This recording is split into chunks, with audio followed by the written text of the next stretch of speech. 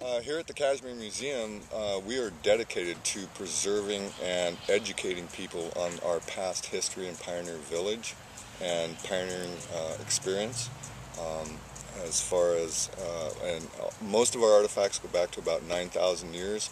It is a great task that we have, and uh, the Community Foundation has helped us so much with uh, a lot of our costs as far as um, some of the uh, equipment that we need in preserving these artifacts, uh, uh dehumidifiers and things like that.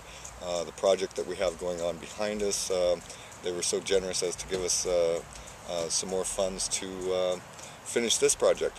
Our main goal is to preserve and to educate the public on our local history as far as Native Americans and pioneers and uh, the Community Foundation has helped us a great deal with that.